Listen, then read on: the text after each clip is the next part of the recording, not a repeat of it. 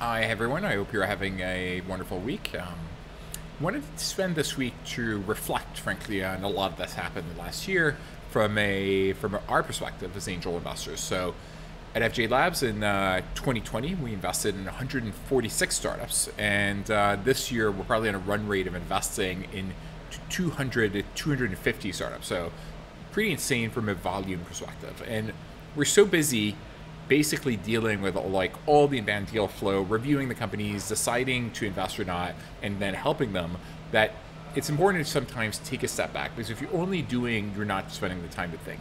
And so um, about a month ago, went to Turks and Caicos and um, took time to be reflective and think through, okay, of all the things we've done, all the companies we've invested in, what are the trends that are we seeing? And what I wanted to do today with all of you is share the latest trends that we've uh, seen in marketplaces over the last 12 months as across the plethora of companies investments we've made there are clearly a few mega trends that are appearing at, at a global level. So without any further ado let's get started. So welcome to episode 29 the latest trends in online marketplaces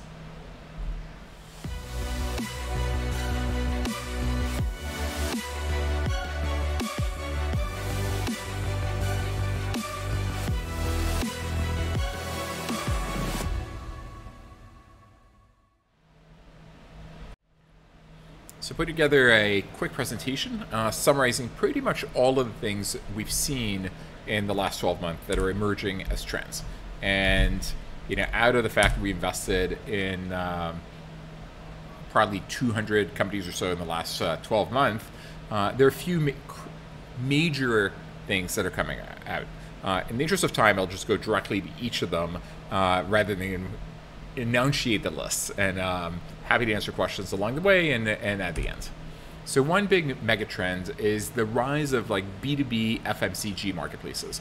So basically, especially in the developing world where a lot of sales are controlled by like small mom and pop grocery stores, you know, bodega equivalents, all of these guys have been running their businesses on Excel, they don't have inventory management, and they don't really have an amazing way of managing the relationships for how they're they're, they, how they're open, getting their own inventory.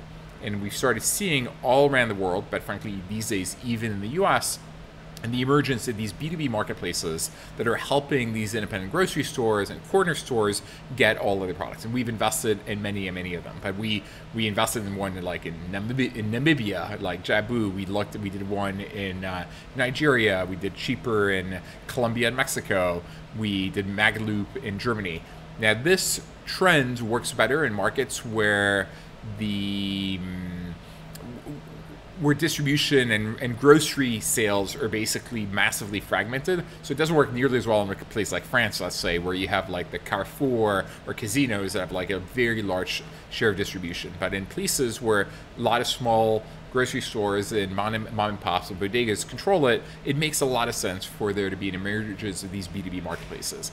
And they all have like slightly different nuances. Some take inventory, some don't take inventory, some uh, do the logistics, some purely introduce you to the to the companies that that you're already are your clients. Some pick the very best supplier for you. So there are nuances there, but definitely total mega trend. We've invested in many of these around the world, and it's continuing to emerge. And by the way, in some countries, we're seeing like four of them. Like in Pakistan, I think we saw four, and it's unclear which of these will be the winner there at some point we'll pull the trigger and make an investment once we think we've identified the the clear winner in the category.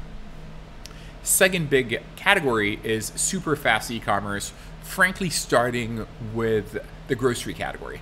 So these are two companies that came out of Russia and um, and Turkey. It's called Getir in Turkey and uh, Samokat in Russia, where they realized that if you build a lot of dark stores in a city, and you can have like a limited selection of SKUs, you can actually provide an extremely an amazing user experience where you can provide you can deliver groceries in like 10 15 minutes at more or less the same price as you would getting it from normal stores because you don't have all the cost structure of the normal stores. The instead of having all the labor costs and all of the real estate inventory costs you basically um, just have the the dark stores, and then you have like last mile delivery people. And so it's very operationally heavy. You have your own inventory, so it takes a lot of capital. And this is becoming the capital war. People have realized this is interesting. So in every major time period of the internet, there's like massive capital wars that are being fought. There's a period of time where people are fighting over becoming the Uber or Lyft, and you saw that people being played out in many different countries with lots of competitors backed by lots of capital. You saw it being backed as well or being played out in um, in the um, in the food delivery business. You know, the DoorDash versus Seamless Grubhub versus Uber Eats versus many other, and this happened frankly in every major geography. There was a scooter war for a while, the Lime, Bird, where lots of capital being sent uh, or put into these companies.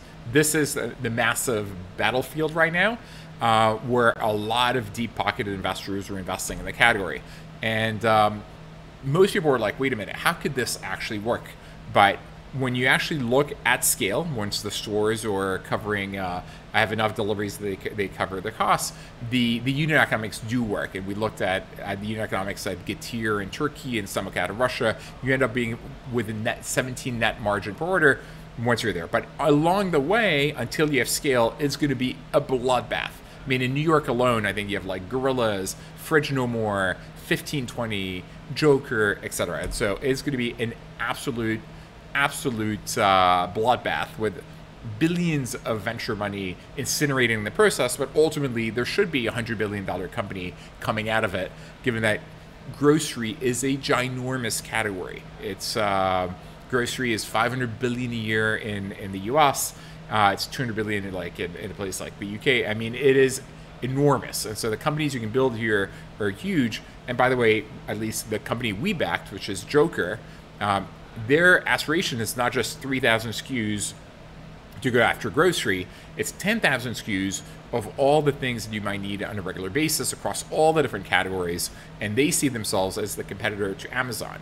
And so the idea is if you need an iPad, we'll get it delivered to you in 15 minutes or a computer. So it won't be a huge selection, so it won't be the store for everything, but the things that you most likely want will deliver to you in 10, in 10 15 minutes. And the NPS, the user experience that you have, is absolutely insane. The, you know, it, you, you, start embedding in, in, in your normal life. I mean, so the the name of one of the companies, Fridge No More, is kind of the idea of what they have. But it, it's crazy. I have like, oh, I forgot to buy this. Boom, order it, delivered in ten minutes. Like you, you no longer need to worry about like how much whether or not you're forgetting something when you go to the grocery store. So the NPS is huge. I think there's going to be a hundred billion dollar company that will come out of this. Though, of course, there might be a lot of losers and VC capital incinerated along the way. Uh, next big category or ne- next big uh, mega trend is the emergence of these uh, Amazon third party reseller roll ups. So, the very famous company in the category is Thrasio. So, what Thrasio does is they go to these uh, essentially mom and pop little e commerce stores that have emerged that are selling at Amazon, and they're doing a couple hundred K in revenues, a couple million in revenues, a couple hundred K in EBITDA. And the problem is if you're the, these mom and pop owners on selling on Amazon, you may be doing really well, but you, you, you live in fear. And you live in fear that maybe someone else will take over the category from you, that maybe Amazon will launch an Amazon Basics or replace you. By the way, the latter is mostly an unfounded fear. Um, Amazon, when they launched, was 100% their own inventory. Today, they're ma- majority of marketplace. So 66% of their sales are a marketplace, and increasingly, they'd rather be the marketplace rather than selling their own products. So it's not as big a threat as people assume it is, uh, but nonetheless, this is the first time many of these uh, small mom and pop founders have had money and have had a successful company, and so they're willing to sell.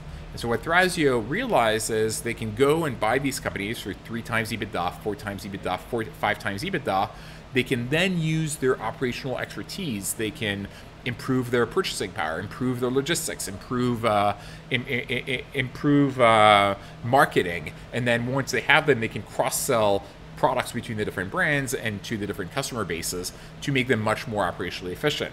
Now they they they fund the company mostly through debt, so they get debt financing to do the acquisition, and they've been able to. They were created in 2019, at least that's when their seed round happened, and they are now in talks to do SPAC for nine billion. It's the fastest growing, I think, profitable unicorn in the history, where they went from zero to nine billion essentially in two years. Now, that that company has led to a lot of other companies emerging. Obviously, the this is kind of the modern equivalent of the search fund. Um, kind of a private equity-ish play, and we're seeing many of these type of Thrasio, Amazon third-party business acquirers popping up, and we've backed a number of them around the world. There are many in Europe, there are many now in India, uh, in the U.S., and we're backing them in different geographies. This is not a winner-take-all category. You can even imagine that some of these will verticalize. Interesting nuance here, or in this category, is um, this has not quite happened for Shopify because on Shopify, in a way, there might even be dis- decreasing returns to scale. And so the Shopify, you have to see to be one brand selling one product or one type of product, and you can't actually be cross-selling, cross-marketing, and doing all the things you can do on Amazon. So to, to date, it's really the Amazon third-party businesses that have been scaling very effectively. And definitely a mega trend. We've invested in many of the players in the category and uh, doing really, really well. Now, you know, here as I mentioned, the it's not um, winner take all, um, so there will be many players.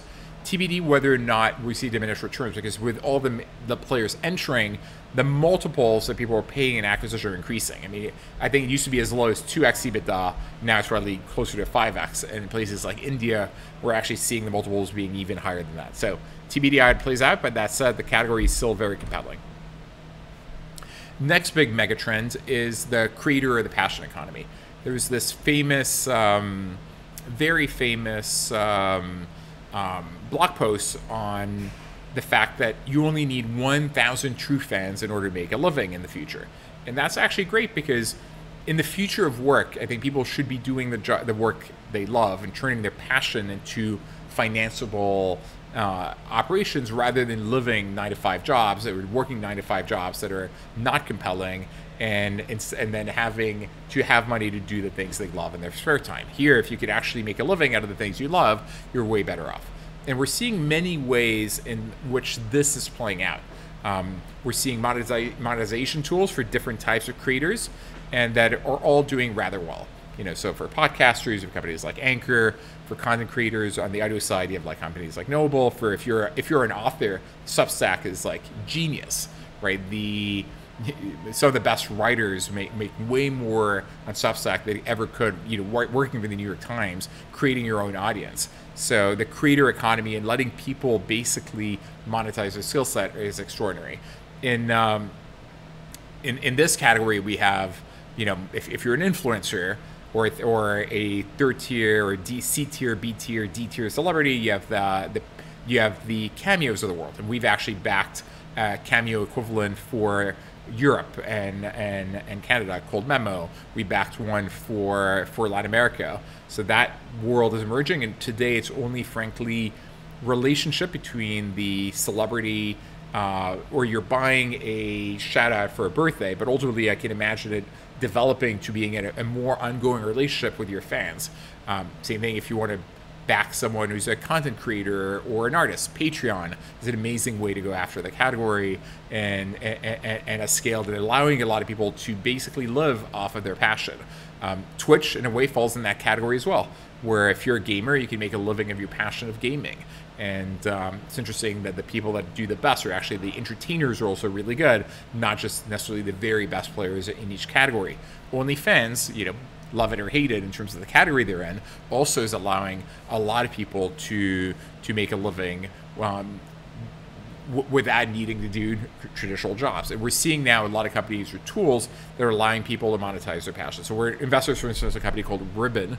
Um, Ribbon allows yoga studios or, or people that um, that that that or yoga instructors to manage their entire business. So you can schedule classes, you can be online, it can be offline, you can do certificating, you can actually create videos that you can sell packages or subscriptions to, and so it's basically allowing you to monetize uh, in your entire business.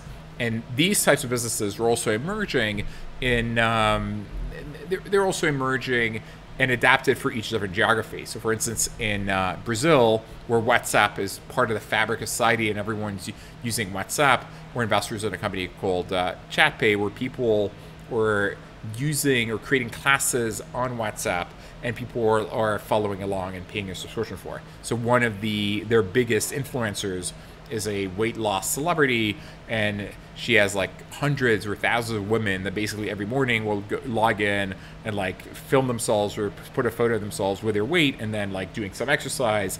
And it creates like peer pressure for people to succeed and they're doing extremely extremely well. And in fact the creator and passion economy is also coming to the crypto world or the web 3.0 world where a lot of uh, creators, influencers, or celebrities are, are starting or going to be in a position to create their own tokens. So you have companies like BitSky that allow this to happen, or Socios and Chiliz. I mean, you recently saw um, Paris Saint Germain announce that they would issue, which is a, the Paris soccer team, which has Messi were playing for them, they would issue tokens for people to be able to decide on like some of the strategy of the team, and and Messi was highly supportive of that. So we're the beginning phases still of the creator economy. It's going to be a massive mega trend for the years to come. We've placed many bets here, both in the Web two world and the crypto Web three world, and uh, I'm could not be more excited that to to have people be able to live off their passion rather than doing jobs that for many of them were repetitive and not that intellectually stimulating. So I mentioned a few of those examples. You know, ChatPay, which is the coaching over WhatsApp, which is doing really, really well in Brazil, or Memmo, which is kind of a better version of Cameo for Europe. Uh, next big trend is um, helping uh, businesses or uh, run their businesses better. And you know, when when we told people originally, for instance, we're investors in Slice, which is a pizza food ordering company, people were like, wait a minute, I can order pizza on Uber Eats or DoorDash or Seamless. Why do I need a, a, a, an app to order pizza? That doesn't necessarily make a lot of sense. But if you actually put yourself in the shoes of Luigi that owns the pizzeria, going back to the core vision of like in the future they should be doing the job they love to do and nothing else you know luigi got into the business because he loved making pizza he loved interacting with his customers he did not get into the business because he wanted to negotiate deals with like suppliers and build a website and answer comments on Google and Yelp and TripAdvisor. And so a lot or a slew or plethora of companies are coming in to basically help these uh, small business owners run their businesses better. So Slice is a prototypical example of that. Essentially, it's a Shopify for helping uh, pizzerias basically build their entire online presence. They'll pick up the phone for you, they'll create your site, they'll help you with packaging, they'll provide you with a point of sale system. Uh, Jobox does the same thing for plumbers, but we're really seeing it across the category. Um, few other examples Fresha will help uh, barbershop owners manage all their bookings and, and availability within the barbershop. We'll provide them with, with a point of sale system. And but mega, mega, mega trend of helping individual, well, SMB owners especially, run their businesses better, usually by providing a free SaaS tool. Monetization can vary. Sometimes you're monetizing the SaaS tool, sometimes you're monetizing the marketplace. But definitely an amazing future trend in the future of work and helping SMBs do, do the job that they love to do. Next big trend is uh, online used car marketplaces.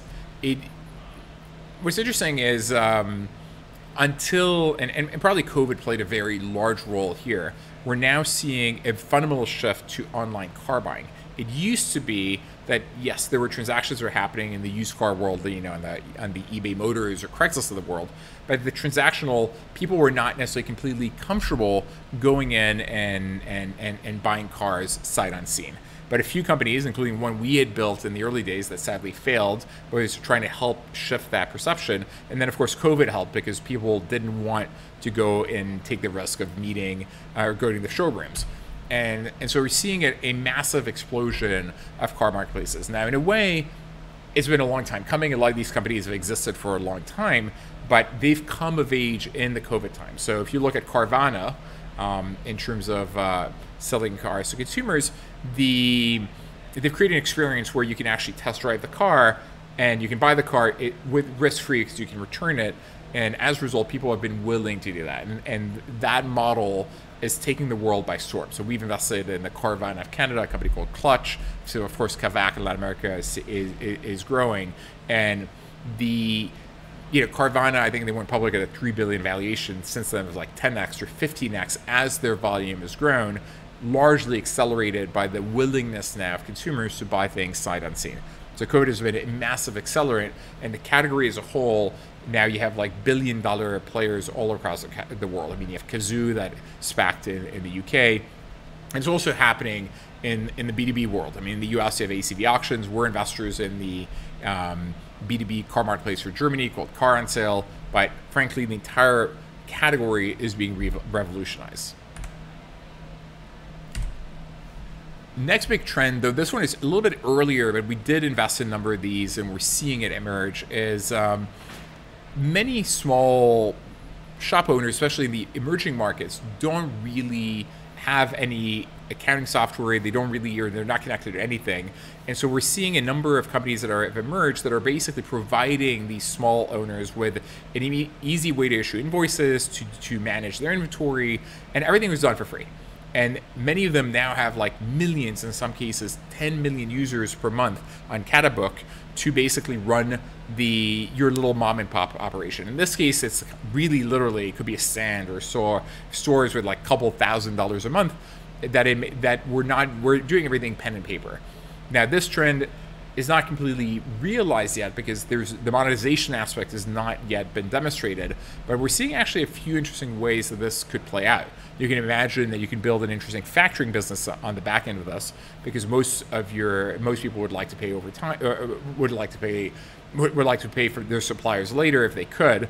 And so you could imagine different monetization opportunities here. But early trends another mega trend we're investors at a few of these just talked one in pakistan that we're very excited by but frankly it's happening in india it's happening all around the world next big trend which is definitely a trend in china and it's not yet clear if it's going to be a trend in the rest of the world, but because it's taking China by storm, it's being invested around the world. So in China today, there's uh, about 20% of the commerce or purchases of e-commerce are done through live shopping. So it's kind of a combination of entertainment and shopping because you're seeing a video with someone selling you in your phone mostly um, commerce. So it's kind of like QVC uh, or Home Shopping Network brought to your phone.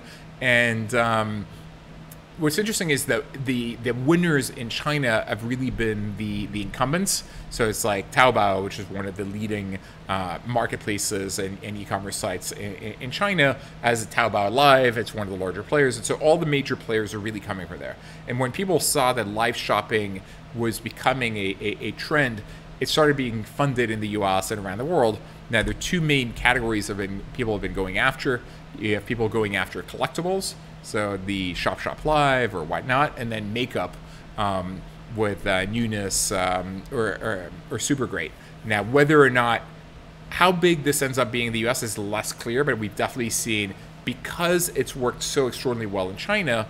Um, we're, we're, we're seeing a lot of people trying to replicate this around the world, and we haven't yet made a bet in the category. We've talked to many of the players, but as we're thinking through, okay, what is discovery in the future? you know, I think sir, if you know what you're looking for, okay, the Amazons of the world are great, but if you don't know what you're looking for and you want a more authentic or experience where you connect better with other brands, brands that are more that are that are more socially responsible and conscious, how do you discover those? And perhaps live streaming is one of those ways that, that discovery will play out. And so as we're thinking through the future of discovery, the this may very well be one of the major elements. Now, that's it for the core trends here. Now, I've already mentioned I, they are part trends, but I covered them elsewhere, so I'll, I'll reiterate quickly. Um, decentralized finance, crypto, and NFTs, or the Web3 world, of course, has been a megatrend.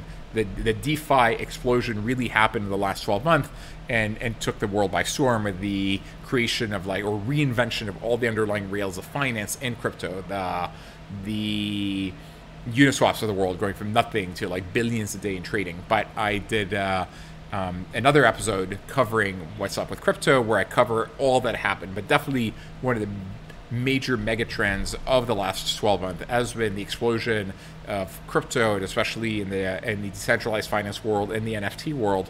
And so, if you're interested in that, you can uh, check out episode 27, which is what's up with crypto.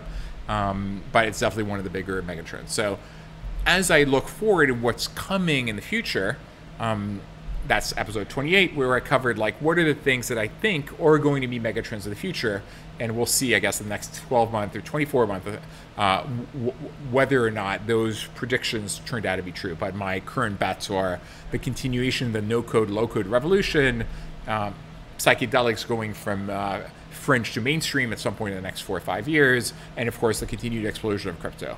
Beyond that, you know, TBD. I have another set of bets, um, but I'll probably do another episode in about a year where we look, okay, in the last year we invested, yeah, that's point might be 300 companies. what are the things or, or, the trends that emerge out of that? So with that, I pause, um, see if anyone has any uh, questions, and um, if not, we'll end and uh, we'll we'll start the next few episodes where I'll restart having guests where we'll talk to extraordinary founders about their journeys. We have uh, the the founder of Shippo. Uh, she's absolutely amazing. She's created a unicorn company in the logistics space, which of course is helping last while coming. We have uh, the founder of Clipper and the and the DeFi crypto space coming, and many many other exciting guests on the horizon. I think uh, we're done for the week with, with that. Thank you, and um, I'll see you guys uh, in a few weeks.